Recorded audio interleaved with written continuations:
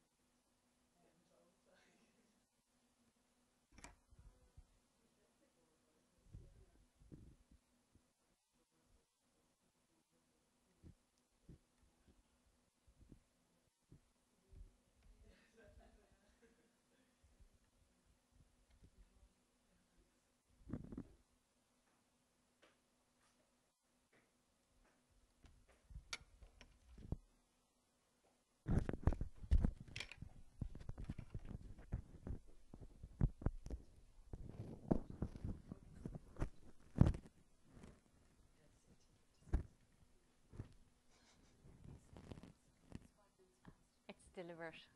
Maybe it's to try and get you into your lectures on time.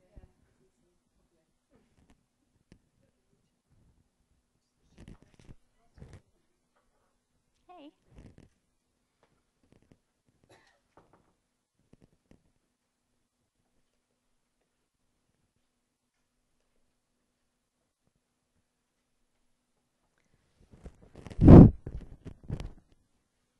who've come already to some of our other lectures. So we run this series of lectures so that we can interface um, some of the science and knowledge that we do, here in the Institute of Food and Health in UCD with the public.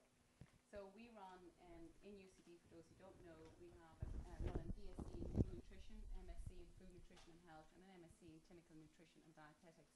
So we have a wealth of information of linking food and nutrition with, with health. So it's, it's a great pleasure to be able to disseminate some of that information with the public. So tonight we have um, Dr. Sharleen O'Reilly who's going to talk to us about um, healthy mum and baby, what's best for nu- nutrition for pregnancy. Sharleen is um, a registered dietitian by training and uh, from Trinity College in, Dub- in, in Dublin, and she also done her PhD there. So after that, she went to um, Australia and spent many years in Australia lecturing at um, Deakin University there. So it's a great pleasure that um, to have Sharleen here tonight to, to give you some of that information that she's learned over the years through her practice um, and also through her, her research. So hand you over to Sharleen. Great stuff. Well, thanks a million, everybody. And um, as Lorraine said, um, I'm going to be really focusing in on pregnancy um, and nutrition. And so, in terms of what I'm actually going to be sort of discussing here today, I think you can get a hint from the slide. I'm going to be going right the way through from that early preconception, first trimester, second trimester, then right the way through to having um, a baby in your arms. So, in essence, I'm talking about that cycle of growth as you go right the way through. I don't have any conflicts of interest to declare other than I've had two children, and that in itself is a conflict of interest. But hey, okay, so let's start before it starts. Um, Pre pregnancy is a really important time to be thinking about nutrition, and not a lot of people think about it as such. But really, when you think about any plant or living species, they need to be put into fertile soil to actually be able to thrive and grow. And so, like that, the ingredients of what you add into the mix are equally important, especially when it comes to conception. So, being a dietitian, um, I know none of us in this room eat nutrients. We eat foods. And so, I'm going to try and make it as relatable as possible in terms of talking about foods in the context of healthy eating. So, when it comes to healthy eating in Ireland, we have the healthy eating pyramid, although in essence it is missing the top part, so you don't eat all the way through the pyramid. I'm going to start at the bottom, and this should be where we're focusing our attention, our energy. And most of your meals should contain a large amount of these foods. What are they? They're fruits, they're vegetables. You can see here that there are a variety of portion sizes. It depends on how sort of dilute the nutrients are in the case. So, salad, you're talking about a medium bowl of salad being a serving, whereas orange juice, it's sort of two thirds of a glass. When it comes to fruit, it's kind of an easy one. I normally talk about what fits in the palm of your hand. So, say a banana, an apple, six to eight strawberries, and say eight to ten grapes, depending on size. Um, when you go up again, you see that there's a nicely coloured section, which is what I would call the brown food section. And the reason I stress the fact that it's brown foods is brown is best when it comes to starchy foods. So if you're talking about breads, you're talking about whole grain, you're talking about whole wheat, rye, all of those would be better options than white bread. The same thing goes for cereal. You're talking about um, whole grain cereals such as porridge, um, your mueslis, um, Weetabix, all bran, all those types of foods, they're inherently brown by colour, and um, I try and tell my kids that the brown is, you know, the good stuff. Um, because sometimes when you look at brown, it can be a little bit bland to look at as a colour, but definitely brown is best. Same thing goes for rice and pasta, and then potatoes with the skins on if you can. Moving up then into milk, dairy uh, foods, and you're talking about a glass of milk. For a serve of cheese, it's an easy enough one. It's two thumbs of cheese. Um, now, some people have really large thumbs, so obviously um, use discretion, but in fairness, um, it's a generally a fairly good rule of thumb, like my pun there. Um, so, in terms of meat and protein foods, the portions tend to be smaller than what we think about. Um, it's actually only half of the palm of your hand is a serve of meat. So it's not a full breasted chicken, particularly some of the XXL chickens. I'd hate to meet them on a dark night in an alleyway. Some of them just look like too big to be true, and they probably are. Um, but you're talking two eggs, you're talking about six tablespoons of beans, 100 grams of fish, and um, make up a serve. So two of those a day, three of dairy, and then up the top you can see fats, oils, and spreads. So it's like mayonnaise, about a teaspoon. Same goes for oil, a pat of butter. The one that you'll see off the top is your sometimes foods. And it says clearly not every day. I know most people that I would have seen when I was in practice had what I would call an inverted triangle, where the most of their foods were coming from the not everyday category. So I like to talk about these as my everyday foods and up the top as the sometimes foods, because you're not supposed to have them every day. And if you are having them every day, trying to cut them back is always a good start. So for me, in the preconception period, if somebody is eating towards this pattern of foods, then they're giving themselves a really nice start to that preconception period. In terms of fluid, you'll just see down the bottom that it's eight cups of fluid. That can include tea, coffee, etc. But water is obviously the best one in terms of just giving you instant hydration. And being physically active is really important. So that's kind of where I'm coming from when I'm talking about healthy eating. And when it comes to any part of nutrition, you'll hear people talk about micronutrients and macronutrients. So your micronutrients are your vitamins and your minerals, and your macronutrients are your proteins, your carbohydrates, and your fats. And it really is important to think about the big picture. So your macronutrients are the most critical things to get right and particularly when it comes to preconception for both males and females, it is important to think about getting your weight balance right. So if a woman is underweight, she's actually going to be less fertile. So getting to a healthy body weight is important for a woman. If a woman has more weight than the normal range, which is worked out based on your weight over your height squared, it's called BMI or body mass index, so if you're not in weight balance and you have more weight gain than you have stability, what you will find is your fertility rates are also affected. So commonly in both males and females, one of the leading causes nowadays of infertility is actually carrying excess weight. So trying to get that big picture balance right is critically important for that preconception period.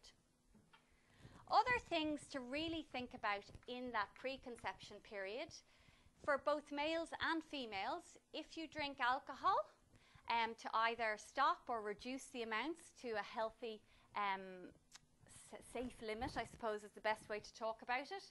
When I talk about pregnancy, for a female, um, the advice is no alcohol is safe in terms of threshold, that the alcohol should not be consumed in pregnancy. But in the pre-pregnancy period, the guidance is less clear. It is advisable to reduce. So for a female, it's 11 standard drinks is the maximum that should be consumed in any one week, and no more than um, two, well, more than two alcohol-free days would be best. Um, and a standard drink is half a pint. It's a standard measure that you get in the pub of a spirit, and it's also a small glass of wine. So, with alcohol, stop or cut down.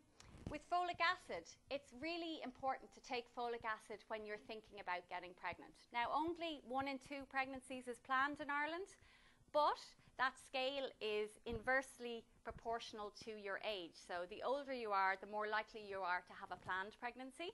So, obviously, in the 16 to 18 year old category, they tend to be unplanned pregnancies, whereas if you're talking mid 40s, they all tend to be planned. So that's the way the balance tends to go. But we say one in two. If you're thinking about getting pregnant, you may not actively be trying, but you think you might be something that you would consider. Taking folic acid now is probably a really important thing to do. I'm going to talk a little bit more about that in the first trimester, but I'll raise the point here. The other thing is about having that healthy, balanced diet. It'll improve your fertility and it will also help you grow a healthy baby and help your body overall. In terms of caffeine, if you drink a lot of caffeine, then it's advisable to try and cut down the amount of caffeinated drinks you consume. So I'll talk about caffeine in a second as well. And in terms of weight management, as I mentioned previously, trying to get in and around a healthy weight is a really positive start. And being active. If you are active, you are actually going to improve your fertility over the longer term. Um, and so that's why they advise being active. It also helps with weight management.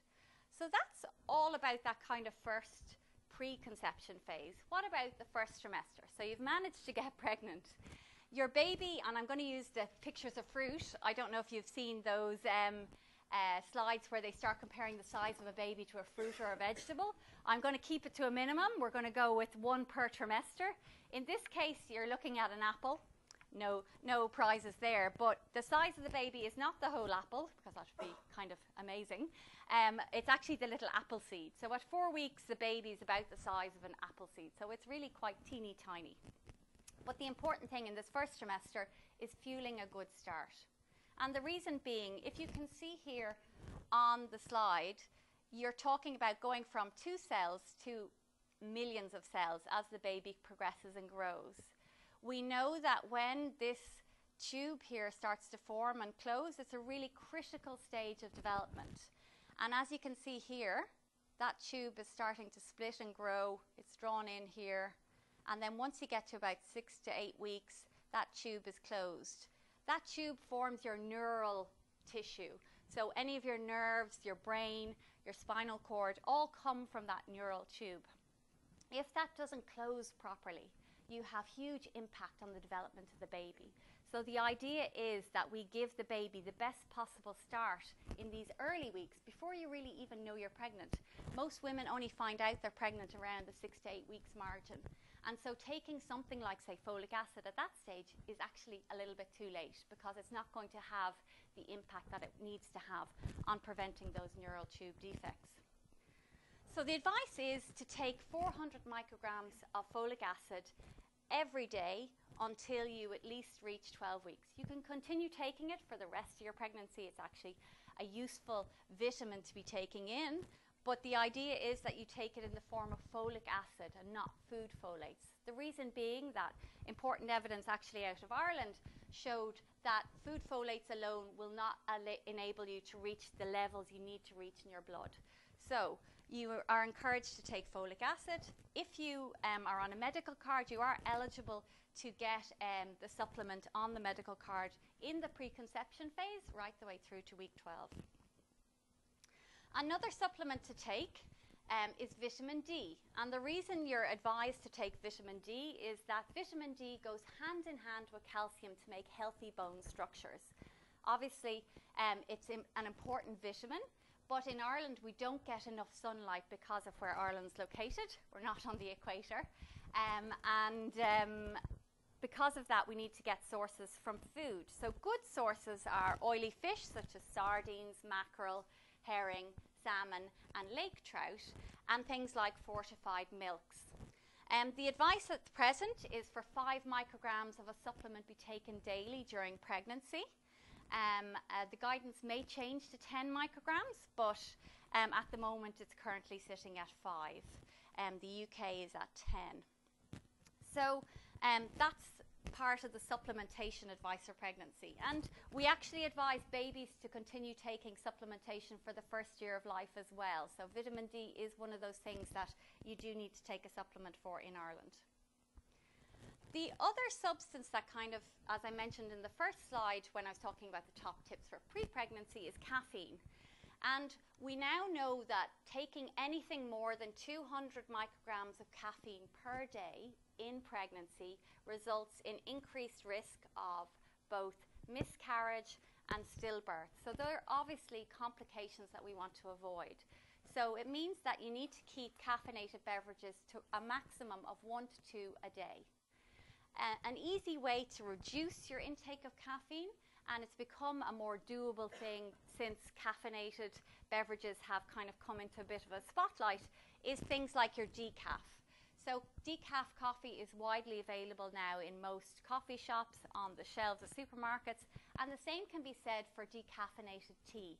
That's actually become much more widely available. So you can see both those can contribute a substantial amount of caffeine to a woman's diet. So if you can take the decaffeinated, then it's ideal to do so. Ones that people commonly miss are your um, minerals or your fizzy drinks. So any fruit flavored teas that are a soft drink actually have caffeine in them. Sometimes the diet versions of caffeinated or cola style beverages can have more than the original branded version. So you'll see there that Diet Coke has 20 more milligrams roughly than normal Coke of caffeine. So sometimes they add the caffeine to increase um, the impact of the beverage, I think is the term that's used. But it, it, it, it, it, it creates a similar uh, feeling to the Coke with the sugar, is what I was told, is that you need a little bit more caffeine to keep it um, feeling um, like a proper drink.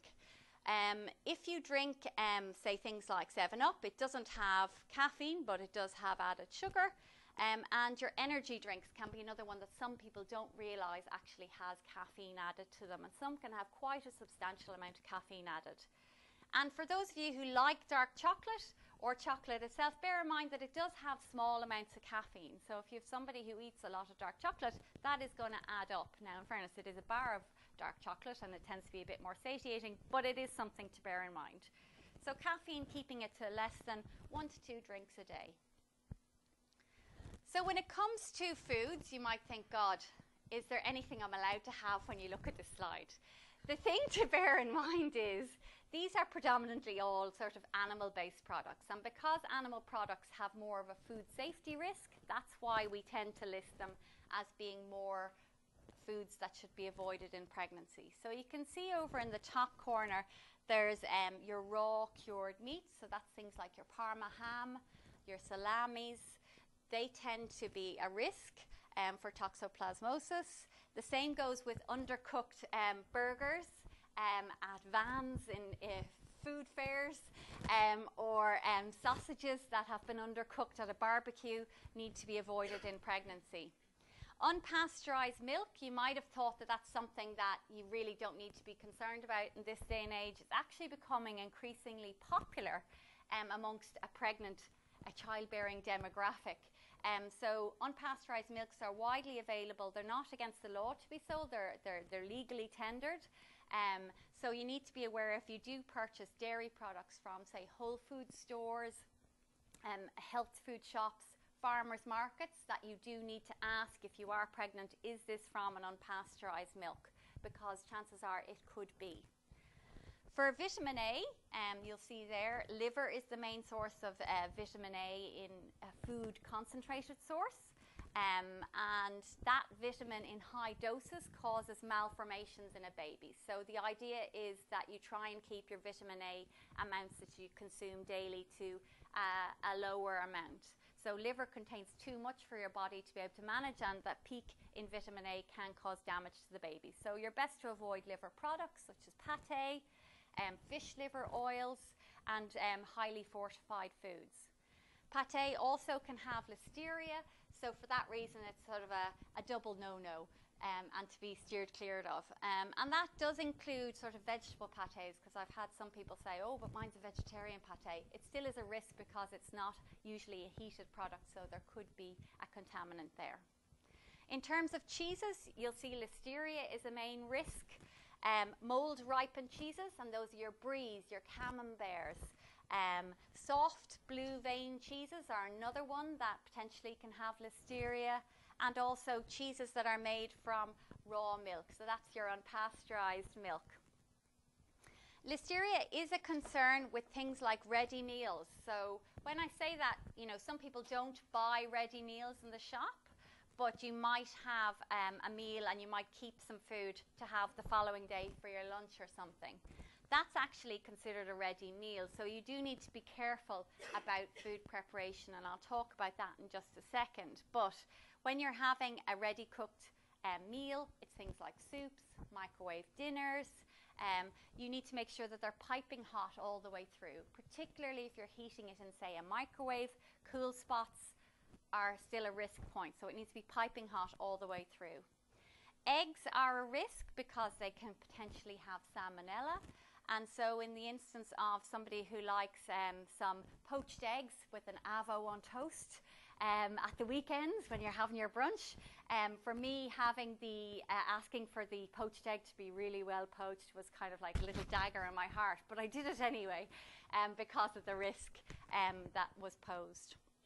And finally, in terms of fish, you may have heard that mercury in pregnancy is not um, suitable to be consumed. So, fish that contain mercury tend to be fish that are deep ocean fish. So, you're talking your shark, your swordfish, your um, marlin. They're not commonly consumed here in Ireland, whereas when I was working in Australia, the Pacific Islander populations actually loved eating these foods, so it was something that I had to really go into detail about. But in Ireland, it's not a huge concern. Fresh tuna steaks would be the ones that um, tend to be our highest potential source here in Ireland. Um, the other advice around oily fish um, really contains the other oily fish. Um, in Ireland, the advice for tuna is no more than two eight ounce cans in a week, so they're the little cans, or one fresh steak in a week.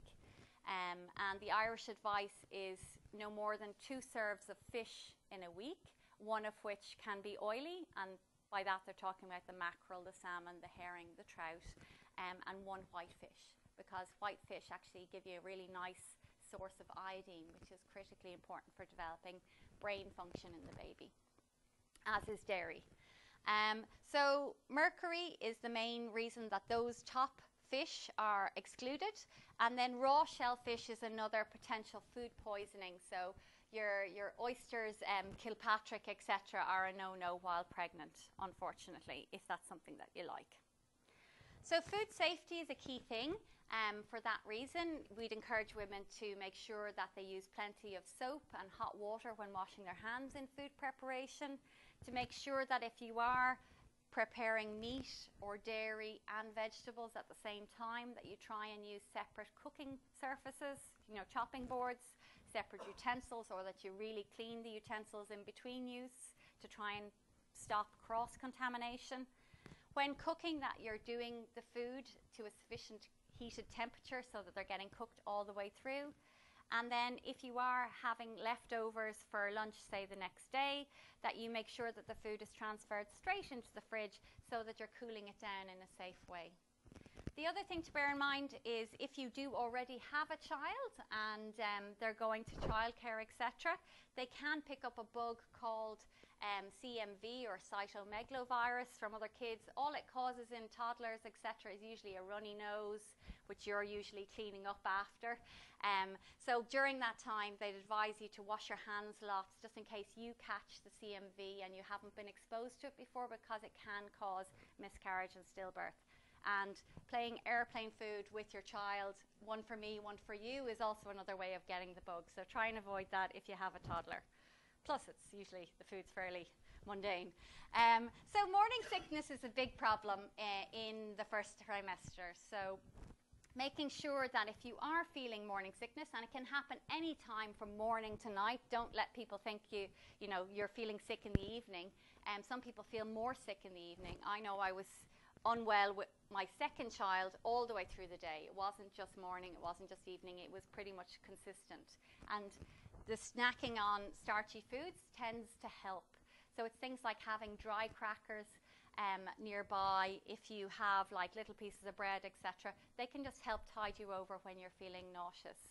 Some mums find putting a pack of crackers beside the bed so that when they go to get up in the morning, having a cracker actually before they get up tends to settle their stomach a little bit and they can get on with the rest of the day. There is some low level evidence that vitamin B6 can be helpful um, and some people find it useful. And if you are vomiting a lot, the advice is that you actually tell your doctor or your midwife because the nutrition you take in is also feeding your baby. So it is important that you try and manage the vomiting. So I want to stop and kind of ask people um, whether you think something is fact or fiction. So I'm going to say, I can't exercise in pregnancy, it's not safe. Who believes that statement is true? And you can just raise your hand. So true or false? Okay, good job, good job. Yes, it's not true. Um, you'd be surprised the amount of people that say, oh, I can't exercise, I'm pregnant. It's actually beneficial for you to exercise while you're pregnant. Um, we know that women who are physically active are a third less likely to have a cesarean section, and for most women, that's something that they would do best to avoid because it's surgery. Um, and you have recovery time and also a baby at the same time, so you can't really chill out and recover.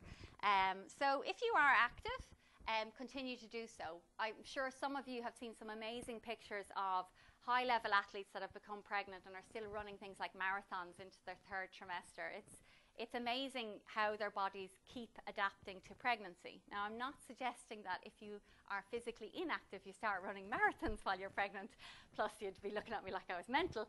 But if you are new to exercise, something like walking is a great start, or swimming. And the only provisos that you need to take into account is not exercising in hot conditions um, because your body is not as good at regulating your temperature while you're pregnant at extremes, and then avoiding contact sports for the obvious reason that it could potentially damage the baby. So, top tips for your first trimester are to have regular meals every day, to try and avoid your sometimes foods if you can. Take your folic acid and your vitamin D every day, Try and starch, try starchy snacks if you are feeling sick due to morning sickness.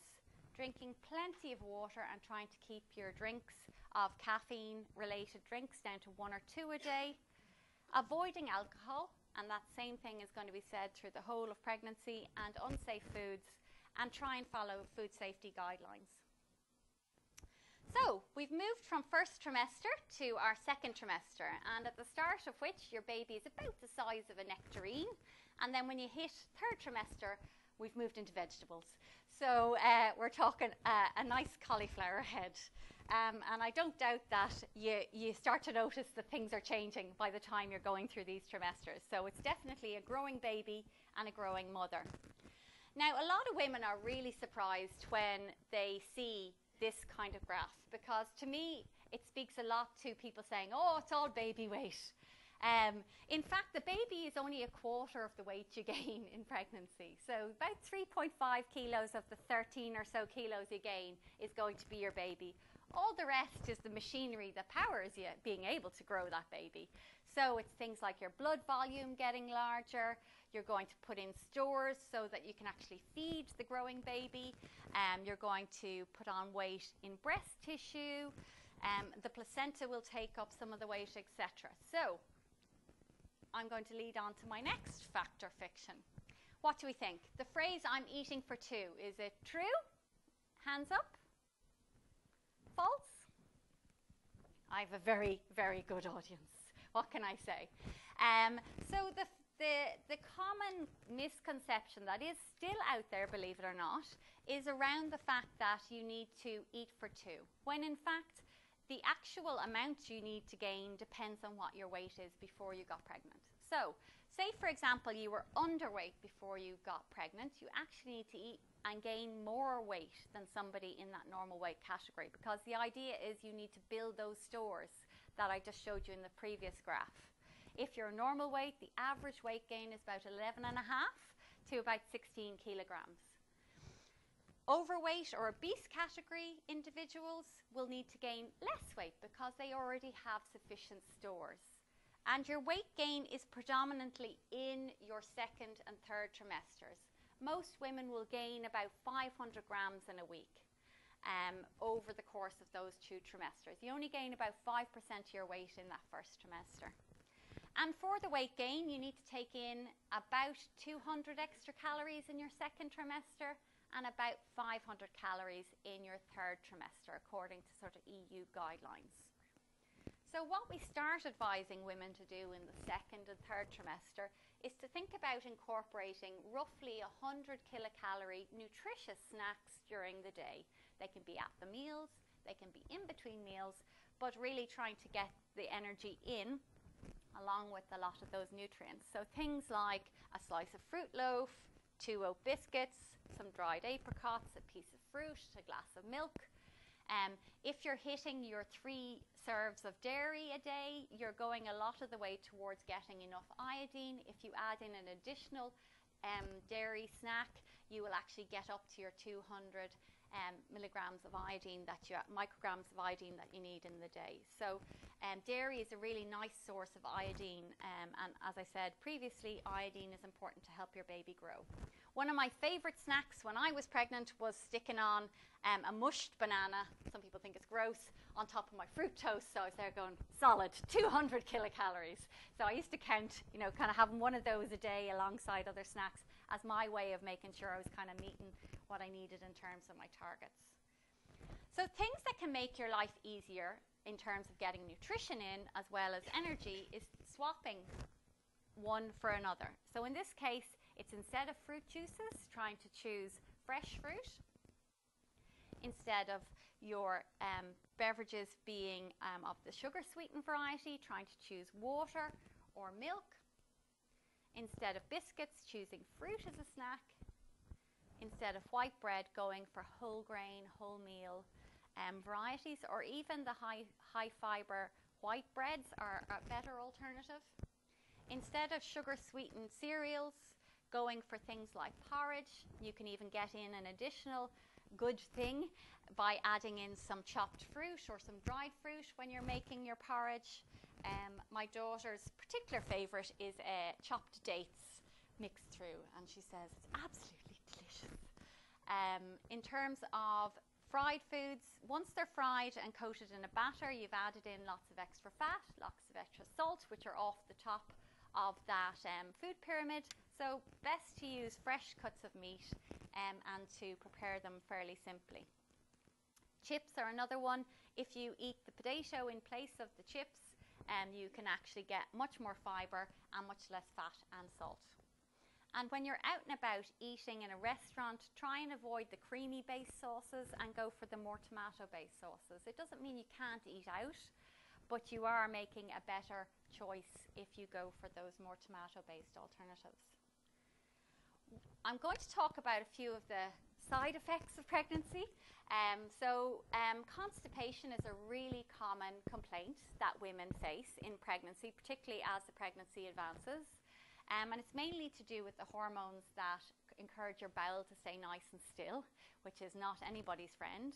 Um, so, the idea here is to try and incorporate things like fruits and vegetables and water as snacks or additional bits in your meals because what will happen is the water will help soften your stools and the fruits and the veggies will also help soften them down. So it'll mean that the constipation is lessened through making these small changes to the types of things you're choosing at your meals and snacks. Another key complaint that women have in pregnancy is heartburn, particularly as the baby gets larger. It's pushing more and more on your stomach, which causes acid reflux, which is what heartburn is. Um, so some women notice particular foods set them off. Um, and so if you are somebody who notices that there's a relationship between, say, spicy foods and your heartburn, well, the best thing to do is avoid it for a couple of weeks because what you'll find is that your heartburn lessens and you're more happier in yourself. Other things that can work are eating smaller meals more frequently. So rather than having three big meals, try and have five to six small ones. Um, it, sitting up straight while eating might sound funny, but the more pregnant you are, the more you sit back and the baby's weight pushes more on your stomach. So trying to encourage the mum to sit up as much as possible while eating. Trying to not eat three hours before bedtime. Um, some women find drinking milk helps their heartburn. It's not necessarily evidence-based, but for some people it works. And if they do, some of them find keeping it by their bedside when they feel particularly unwell might help. Propping your head up a little bit with pillows can help keep the stomach down a little bit further although that's kind of difficult in your third trimester where you're lying on your side anyway, so you're going to be uncomfortable no matter what. So um, I think if you can prop yourself up in bed a little bit, that might work. And if you ask your GP or your midwife, you can get advice around what are the best antacids or um, alginates to take to reduce some of the symptoms. Anemia is the other really common side effect of pregnancy. Um, the reason being that you're commonly expanding all of your blood supply to feed your, yourself and your baby, and so you need a little bit more iron. As a result, we tend to find women do get anemic in their second and third trimesters, particularly. Animal sources of iron are really good sources of iron if you eat meat. Um, so any animal sources are called heme iron. Um, the non-heme iron um, are covered in more your dark green leafy vegetables and your beans. The only downside to the non-heme iron is they're a little bit less well absorbed and so they really benefit from having a rich vitamin C source uh, present while you're actually consuming them. And even the heme sources benefit from having them around. So things like having orange juice with a fortified cereal improves the absorption of the iron in that meal.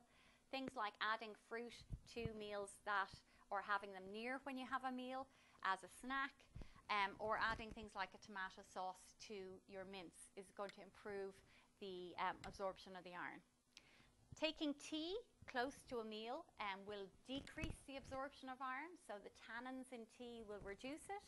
The tannins will still be present in your decaffeinated tea, so if you are drinking decaf tea, even then, you still need to keep a bit of a break between your meal and when you're having your cup of tea. And finally, if you are on an iron tablet, it's important to take it on an empty stomach or at least one hour before your meal so that you've got a chance to digest the iron without anything else interfering with it. And you need to continue taking it for at least six weeks after your baby is born. And the reason being that we lose a lot of blood when we deliver a baby and it's best to replete it as soon as possible after you give birth. And finally, around activity, um, it's really important that you stay active. I know in first trimester we've all got the best will in the world, and as you get bigger and heavier, you tend to think, ah, I'll give it a rest. But they actually show that if you keep active, the women actually report feeling better in themselves over the course of pregnancy. So it helps improve your mental health, um, and um, levels of tiredness reported are also decreased. The only thing to bear in mind in trimester two is that if you are doing any abdominal work where you're lying on your back, you should really try and avoid it because the weight of the baby starts to push on some blood vessels and you will reduce blood flow to both yourself, you'll start feeling a bit nasty, but also the baby will have slightly reduced blood flow. So it's not ideal. So lying on your side is fine, but just not on your back. And then in trimester three, most women start finding most activity a little bit more challenging. So things like gentle swimming, or walking can be a great alternative to keep going.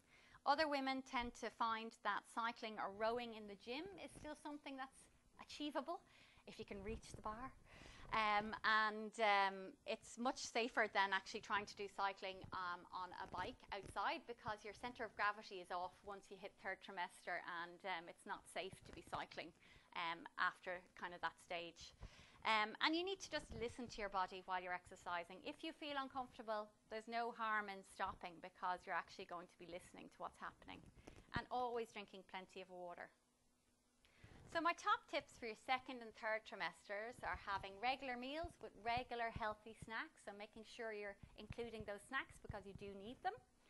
Cutting down on sometimes foods because you want each snack to be as nutritious as possible drinking plenty of water, limiting caffeine again, and the same goes for alcohol and trying to choose safe foods. So not hugely different, but just reinforcing the fact that you do need to have those healthy snacks. Okay, last bit.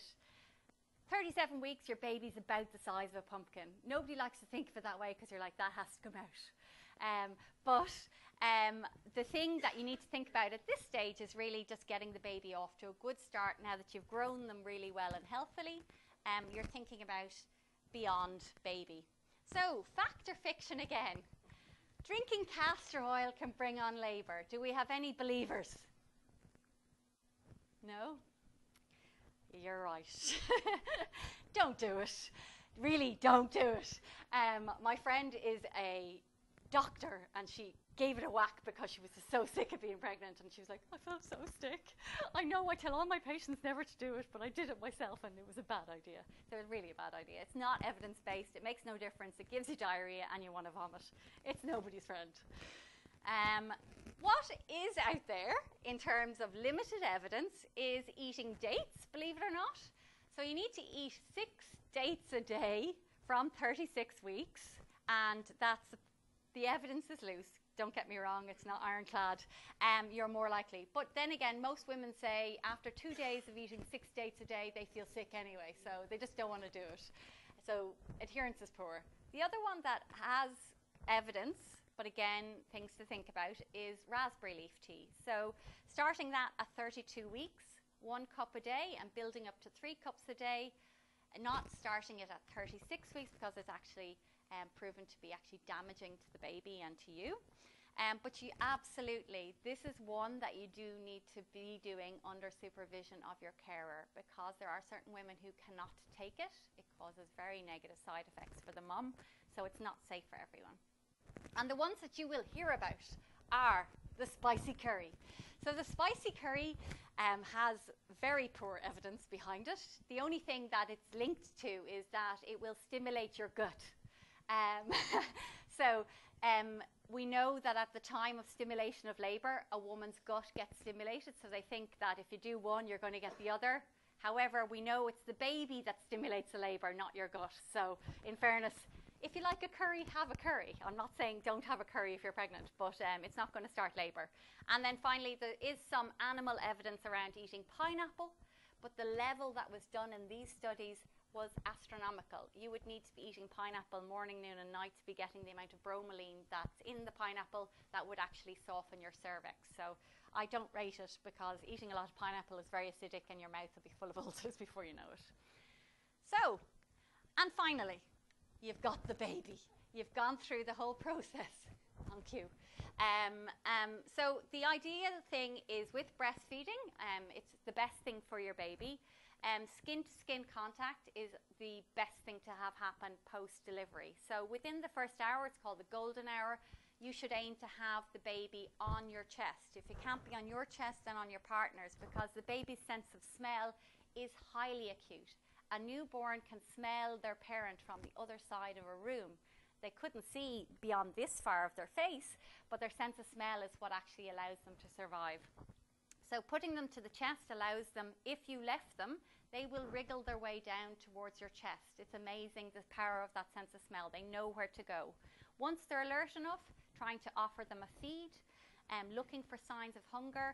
Um, one of the key things I would say to people is crying is the last on the list, that's the baby angry because uh, it's got no food. Look for signs where it's touching its face, it's wriggling around a little bit more. You will become the interpreter of your baby over time, um, but the key thing is trying to allow the baby to feed as often as it needs, particularly during those early days. Having the baby close by allows you to do that. You spend the time with the baby, you, you can become a little bit more comfortable. And don't be afraid to ask everybody has to learn how to breastfeed. It's, while it's natural, it's not easy. So seek support is what I would say to you.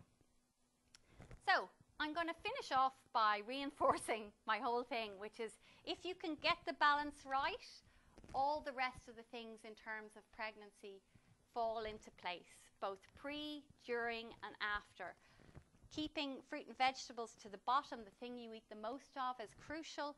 The same with choosing the brown foods, making sure you're having good amounts of dairy, keeping protein to twice a day, and then limiting the other things. And if you can do that, you are absolutely going to be on the right track to success. So I'd like to close by saying if you are interested in learning a bit more, there are really good resources on the mychild.ie. The breastfeeding.ie site is going to move into that mychild.ie, but at the moment you can still access it um, through that website. And if you're interested in the food safety and the guidelines end of things, there's safefood.ie, fsai.ie, and an organisation in the UK that's about advocacy around pregnancy and maternal health is Tommy's, and some people find the information presented there to be really quite user friendly. Um, most women should get this booklet at the start of their pregnancy if they're going through a HSE service, and hopefully that will also help support you in choosing the right foods for pregnancy. So I'd like to say thank you very much for your time and your attention.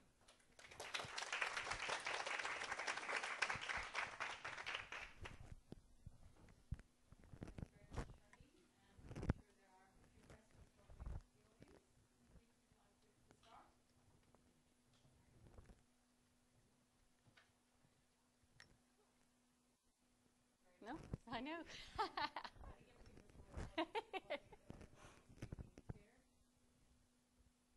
okay.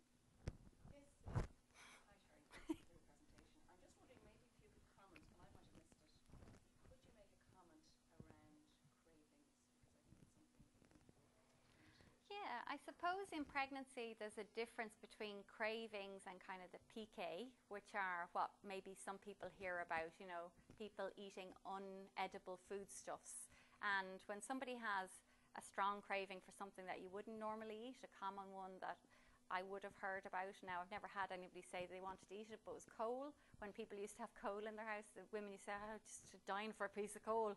Um, they tend to be indicators of micronutrient deficiencies, in particular anemia. So if you start having really unusual cravings, um, it can be a sign that you might need to have your bloods done to check that you're anemic and choosing obviously edible sources of iron are a much better way of getting iron into your body than having an owl chew on coal. Um, but generally the cravings, yeah. Um, and having regular healthy snacks can tend to lessen those as well. It, it might be just another way of interpreting the body being seeking nutrition. Sorry, so it says, what about nuts in pregnancy? I see the food that you're avoiding obviously wasn't included there. Yeah. So the advice then is just for mothers who are allergic themselves to avoid, is it? Or No, I mean the guidance isn't there anymore that you should avoid nuts um, unless you have an allergy that requires you to avoid nuts. Having nuts in pregnancy actually potentially is a positive thing um, to help expose um, your immune system to nuts while experiencing pregnancy. There's no proof that you having nuts in pregnancy causes any issues with the child. Um, so yeah, if you eat nuts regularly, then having a handful of nuts is the equivalent of a protein serve, and it's a good snack to have. You know, if you'd have a handful of almonds, that's um, a serve of calcium. So yeah.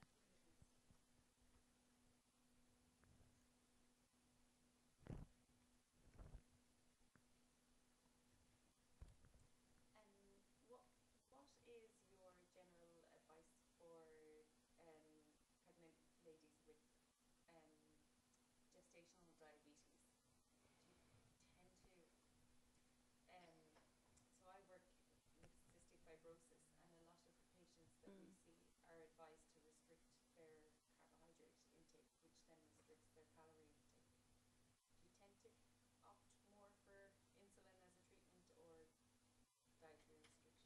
or- Um, I suppose first line is dietary when it comes to gestational diabetes. So we would encourage women to have a look and see um, how they're managing if they're diagnosed with gestational diabetes. So what that is is you develop a diabetes that happens only in pregnancy. Um, and so they will do a blood test to check if you're in the range that diagnoses it. And if you're in that, the initial guidance, unless your values are very, very high at the start, is to try diet initially. And they'll normally give a woman a week to two weeks to see how her blood sugars are looking. And if they're still looking very high, what they will do is they will start treatment. So it might be metformin if she'll take a tablet, or it might be insulin. Um, we know that some women do better um, if they have a history of other health concerns, monitoring their bloods much more closely, and potentially starting treatment with insulin earlier.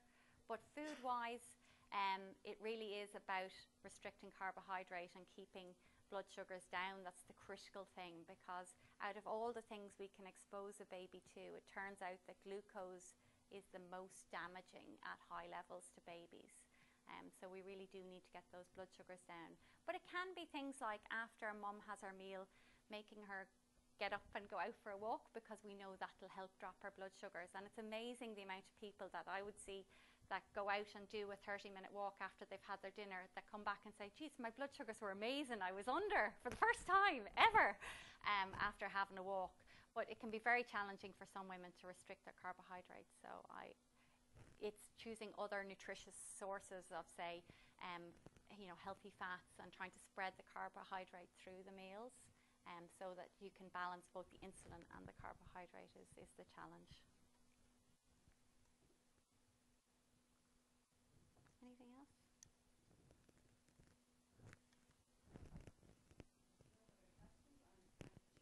No worries. Thank you very much. So just before we finish, we have our last um, of the year, our last public lecture of the year um, in November, and after Christmas we will bring it on um, nutrition in early childhood. So again, um, if you would like a leaflet, they're on the table outside, and we look forward to see some of you back here then in, in November. Thank you. Cheers. Thank you.